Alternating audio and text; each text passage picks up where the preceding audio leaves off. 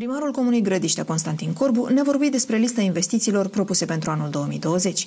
Printre acestea se regăsesc lucrările de extindere a rețelelor de apă și canalizare, reabilitarea unităților de învățământ, dar și alimentarea localității cu gaze.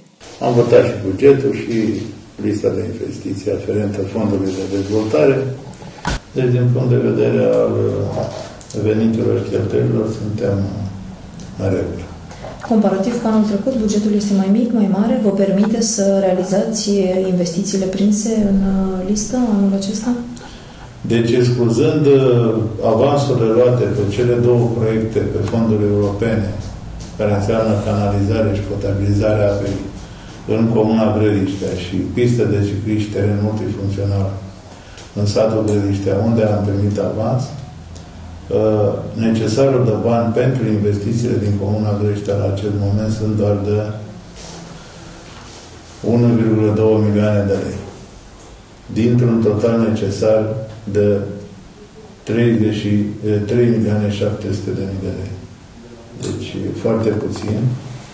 Să sperăm că prin acțiunile pe care le derulăm acum de vânzarea unor terenuri neproductive, să mai încasăm ceva la bugetul uh, local privind fondul de dezvoltare și nu știu dacă speranțele sunt foarte mari la rectificarea din august pentru a mai aduce bani în fondul de dezvoltare. Investițiile sunt foarte mari, sumele, suma totală alocată uh, anul acesta din uh, Uh, fondul propriu este de 842.315,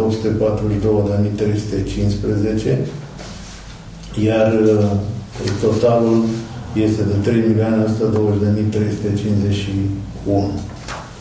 Avem uh, alocați bani pentru a termina școala cu clasele 5 Obrasa, grădinița cu program normal Cunești,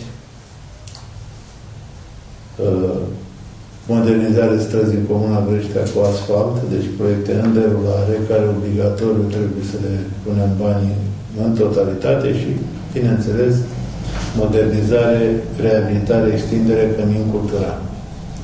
Aceste uh, obiective au uh, primit banii necesari pentru definitivarea investiției. Uh, vor începe investițiile pe care le-am enumerat mai devreme pe fonduri europene care nu implică aport la nivel de primărie, dar vom avea și investiții care vor începe imediat cum este primăria, grădința cu patru săli de clasă la Grădiștea, o altă investiție care va începe fără cu participare este sala de sport cu 102 locuri la Cunești.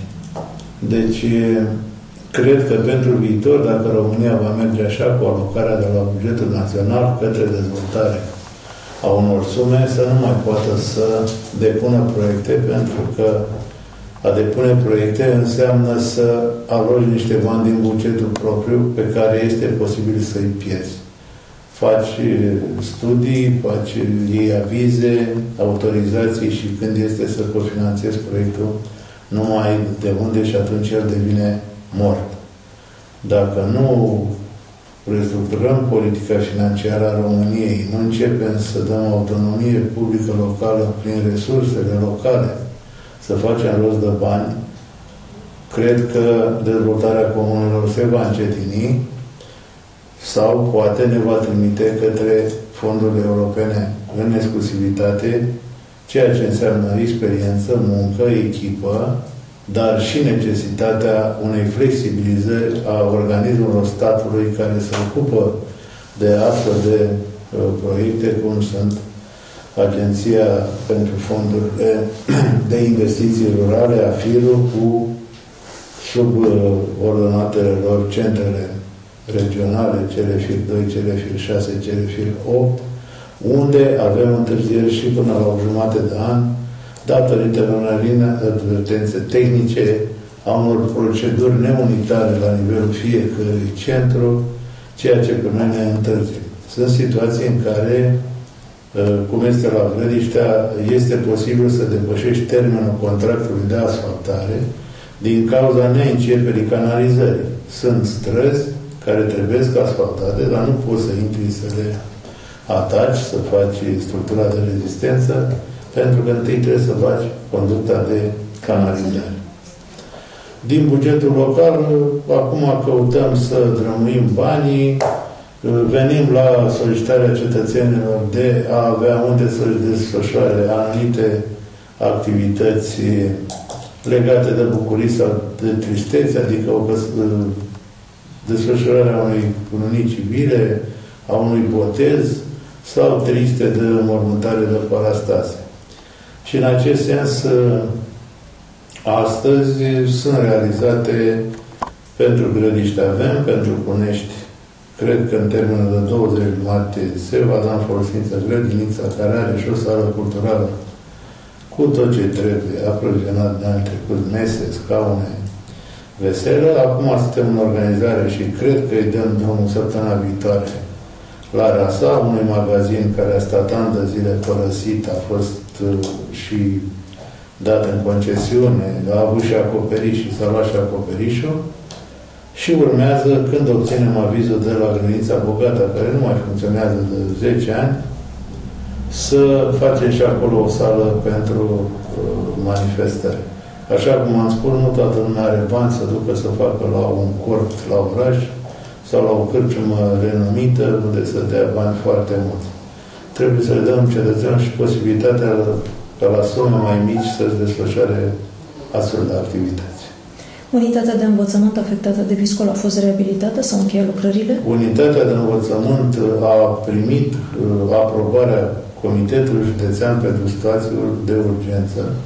A fost considerată normal situație de urgență. Microbuzul școlar nu a fost inclus la situație de urgență, pentru că au existat voci care au spus că microbuzul nu a fost parcat corespunzător. El a fost parcat lângă liceu. Uh, și acum urmează ca într-o ședință a Consiliului Județean să se aprobe, să se aprobe din fondul de rezervă uh, bani pentru realizarea unui acoperiș nou la Liceul Constantin George Călinescu. Noi am acționat a doua zi cu deviz, cu echipe care au venit la fața locului și din partea ISU și din partea echipa mixtă de la Consiliul Județean și Prefectură, care și-au dat acordul și de aceea și trecut în Comisia Județeană pentru situații de urgență. Aveți noutăți despre alimentarea localității cu gaz?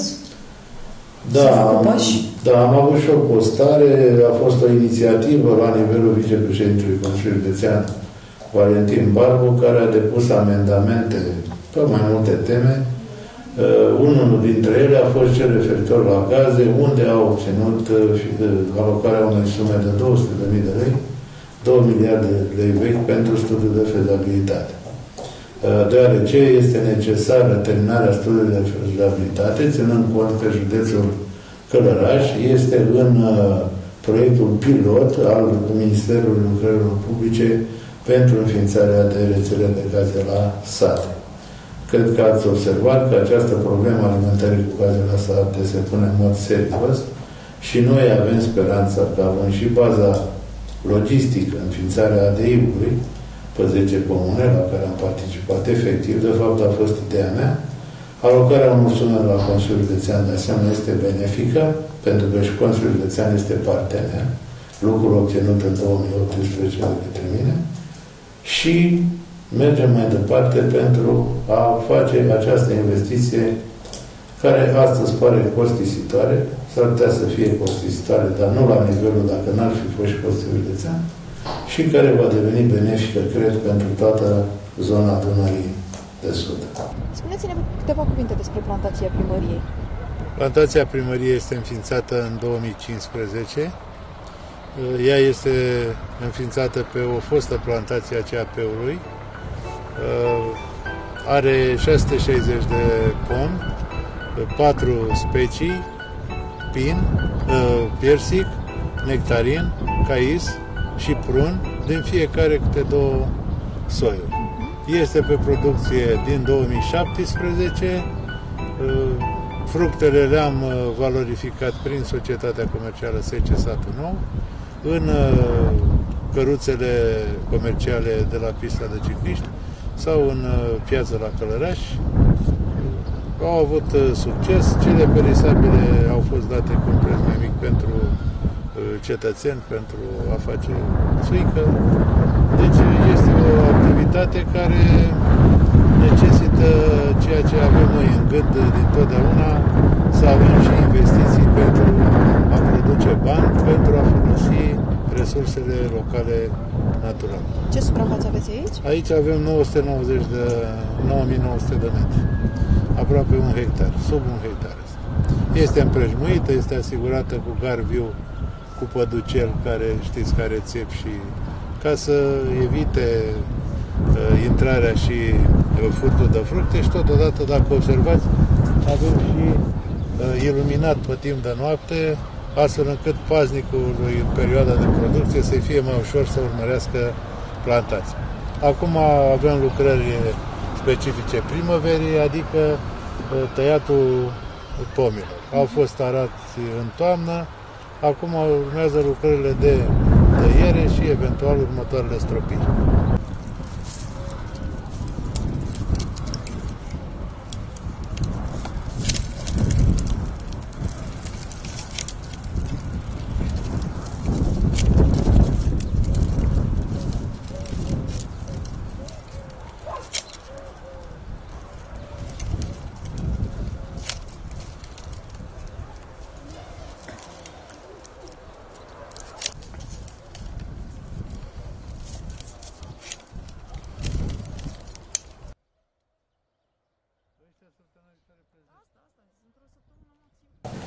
Suntem la începutul primăverii.